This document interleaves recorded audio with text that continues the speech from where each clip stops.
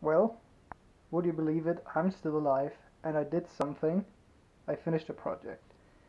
Finally, I actually got around to finishing a project. So this was initially a hand cranked uh, blower thingy for the barbecue and I added a battery and a motor and it works. it actually works. Um, well, now it works. It will not work in a few hours when the battery is drained because apparently I did make some mistakes while designing it, building it, whatever. But it works. Um, so, to its features. Well, you have a tiny motor of unknown specification. You have a really bad switch. Um, we have a battery and a handle and we have charging with USB.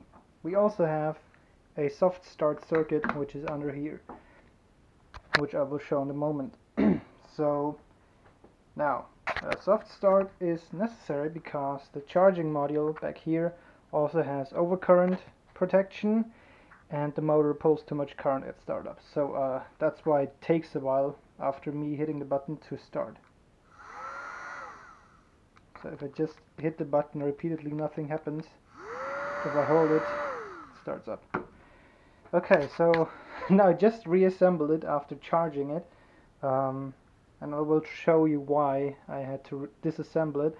Well, you see a fan here already, um, so you can probably think about something. Um, so yeah, I'm gonna disassemble it and show you the inside. And here we go. Um, took it apart. So you see the protection board, which is still oddly warm for no reason. I'll get to this in a second battery, soldered the connectors to it because there's just no space between those screws. Barely fits in there, already had to sand off some parts of the screws here and there just so it fits in there. A makeshift switch, I did not have a switch that would fit in this tiny uh, space that's left. Um, so I just went for this method. Used a piece of metal and take the wire to it. So yeah. that's the switch. I made a groove in here where it just sticks in. And fun fact it has a uh, plastic coating apparently. I did not know that so I have to sand it off inside so it even works oh, let me just put that back in there. Okay. That's one side. That was supposed to be the initial circuit nothing else. But then well the motor just did this basically just a few turns before the overcurrent came in. So let's look at the very advanced circuitry on this side. We have one resistor one capacitor one transistor. Um, that is an NPN Darlington that's a what is it 220 uh, 220 microfarad at 5 volts, no 25 volts, and a 3k resistor. Now, the resistor basically charges up the, the, the capacitor, and as soon as it's charged up, the uh, basically the oh god, the capacitor and the resistor are connected to the base of the transistor, and it will slowly turn on. Well, basically in theory and apparently also does it in uh, practice. Uh, so then the 3.7 volts are getting relayed to the motor just it's a very hacky circuit it's also not properly cooled so if you would run this for extended periods of time it would probably overheat but it's just a little blower motor for uh, barbecue stuff so it shouldn't overheat.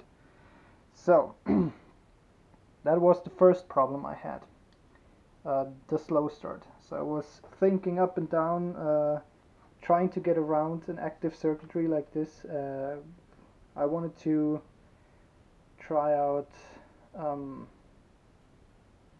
an inductor but I would need a 1 Henry inductor to uh, probably to uh, have a slow start with that. And one Henry is probably as big as the entire assembly, and I don't have that. And I tried resistors. Resistors work too, but they got way too hot, and also the motor didn't run that fast anymore because it's just 3.7 volts and this motor is right I have to show you where the motor came from in a second.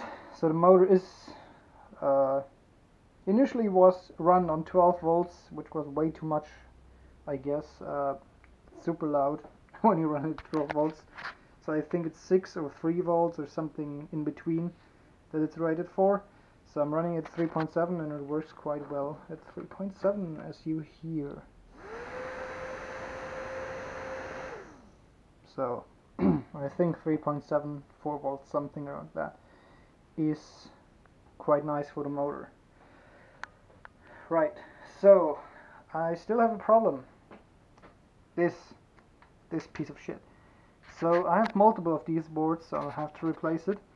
One thing uh, you already noticed when you plug it in there's no light coming off from it. Usually there's two LEDs on the bottom there. I don't know if you can see that.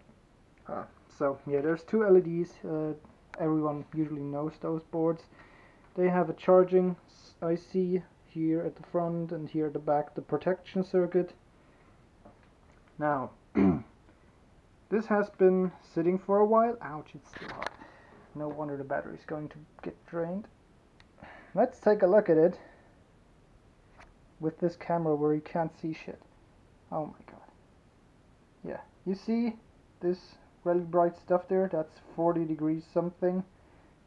Um, so I have to yeah it's really hard seeing the screen. Uh, but yeah it's it's around 40 degrees now. And I haven't touched it like haven't charged it in a while. So yeah that's why the battery is now drained. I don't know why it started doing that.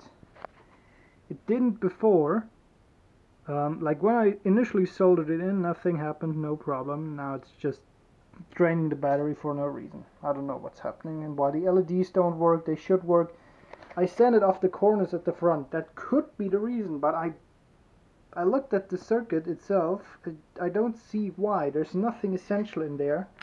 I even put some solder on the corners just to make sure the wires are intact that didn't help either so I don't know why that thing is draining my battery. Oh well so I guess I have to replace that and I have to check if I can get it in there without sanding it because if you look at this uh, case it's obviously rounded and having a rectangular PCB in there and not good. Maybe I also broke it because of flyback from the motor. Who knows? I don't know. So yeah, I'll get it out of there, check if it then suddenly works, uh, well, you never know. so yeah, that's the current problem I have. This thing is draining the battery for no reason, which is why I had to charge it. Um, I charged it yesterday, came down today, battery was 0 volts, completely empty, so I had to recharge it. With this thing, by the way, I, I used this to charge it again. that works, so I don't know what's broken. Um, but yeah I have to replace that apparently. So I will now show you where I got this blow motor okie dokie so we have this thing. You might recognize these. Uh, this is the cheapest one I could get on eBay. You see it says 12 volts 75 volt uh, 75 watts. And now if you look at this case it's pretty big. This one is uh, powered by a cable 12 volts now we take our tiny blower back here. Hope we don't short it. You see this tiny motor that was in here. They put this tiny motor on 12 volts, which was just screaming at me as soon as I turned it on. So I was like, that's not fine. I don't want to use it. The instruction manual said, um, turn it off after 5 minutes of use and let it cool down for 5 minutes because of the tiny motor back there. Yeah, so I thought that's bullshit. so I have planned something for this. Currently it houses a certain motor that's a bit bigger you see this is the motor you would actually inspect in here, something around this size. The thing is, this probably needs 48 volts to have enough speed to build any pressure. Because I can run it at 12 volts, which I will do in a minute, and yeah, it's just not enough. It's not even enough at 30 volts at the um, lab PSU, it's just too slow. Because it's a uh, voltage based, the, the speed is voltage based, so I probably have to pump 40 or 50 volts in there um, and I don't yet know how I will do this because yeah it's also at a certain amperage that's needed by the way the cables and switch are original. I just used those from what was left after I took out this one. So yeah I'm gonna hook this up to 12 volts and show you how it uh, chooches. Okie dokie, I have it hooked up to this power supply now which is by the way a computer power supply that I just put on a nice front so you could actually plug banana plugs in there. Thing is I don't have banana plugs so I just they're also for screwing stuff in. Yeah that doesn't really work with this piece which is the leftovers from the 12 volt plug so I will just attach this attach it here and you hear the motor already. So yeah there's not much action and quite a lot of rattling Let's try it without the cover. But you see it's going instantly to one speed and staying there. A bit like an induction motor. The thing is, when trying to put this fan thing on a bigger shaft, I mutilated it a bit. Let me try to get that off. Oops